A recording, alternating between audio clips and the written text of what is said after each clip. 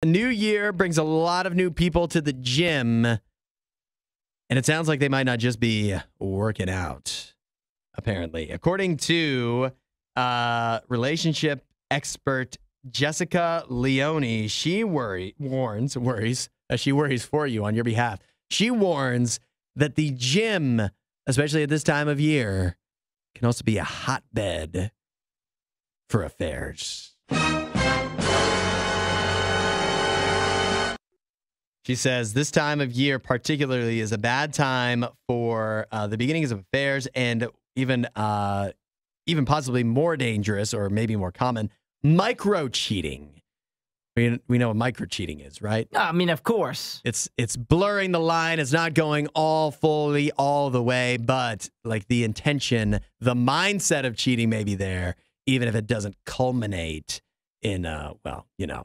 Uh, so she warns that this could be a sign you got to have your feelers up. You got to have your antenna aware that if your partner is going to the gym, or maybe yourself, maybe you're going to the gym and you want to stay faithful, this is a bad time of year for getting into some, uh, you know, some trouble with your relationship. Yeah, I would say if you go to the gym and you have friends at the gym, Mm. that's one thing. But if you're like doing more than just being friends at the gym, your conversations are more than that, then obviously that is in the wrong.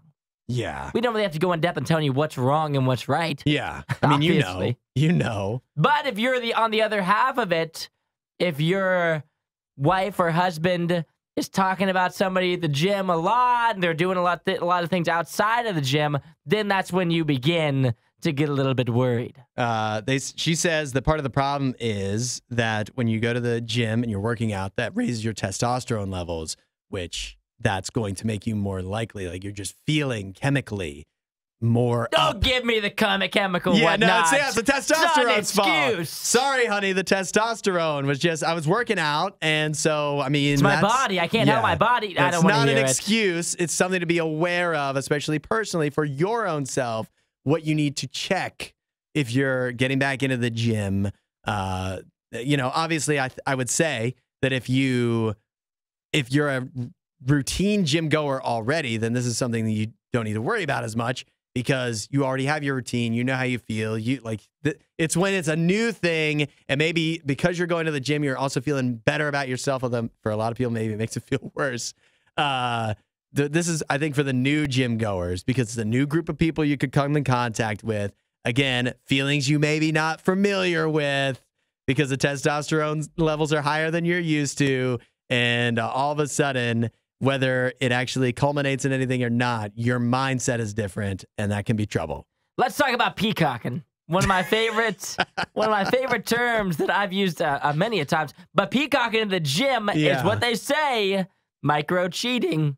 If you're peacocking, you might be Mm, wondering what get- is peacocking. Yeah, I think I have an idea. That's when you're running a little faster than you usually would, lifting a Uh-huh. little heavier weights in an effort to prove that there's you're strong and a suitable candidate for the lady across the room from you. If you're peacocking at the gym, what are you doing, man? You're hot dogging. I, I guarantee you too. Uh, the guys, you always have to keep this in mind. Remember this: no matter how impressive you think what you're doing is is, uh, I don't think the ladies are looking at you unless you're already the type of guy that ladies look at anyways, and you probably know that. And it doesn't matter how much. This is the other thing that's crazy. And I've talked to my girlfriend about this. She's like, no matter how much you're lifting, the, the lifting between men and women is so different. Yeah. She has no idea what is heavy. Like, she doesn't even know. So if you think that you're doing something that's really impressive, Uh-huh. my girlfriend would look at you and be like, is that like a lot of weight? Is that a little bit of weight? Like, that's a lot of weight for me. That's more than I can lift. But is that a strong guy? Is that a weak guy? They don't know. They don't know.